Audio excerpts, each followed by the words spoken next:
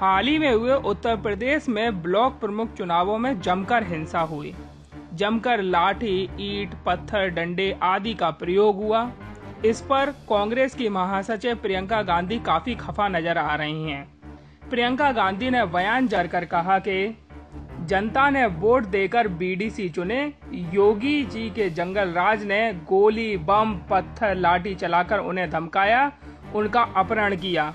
यहाँ तक कि महिला सदस्यों के साथ भी बदतमीजी की, वोट की ताकत वाले जनता पर योगी का जंगल राज उत्तर प्रदेश में हावी हो गया है।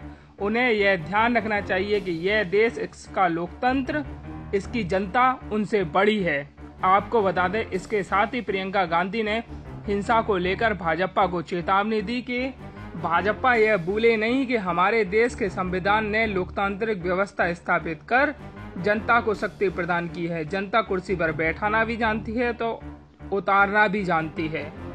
आपको बता दें, हाल ही में हुए ब्लॉक प्रमुख चुनावों में उत्तर प्रदेश में जमकर हिंसा हुई है, जिससे कांग्रेस के साथ साथ अन्य विपक्षी पार्टियाँ भी सरकार के रवैये पर सवाल उठा रही हैं।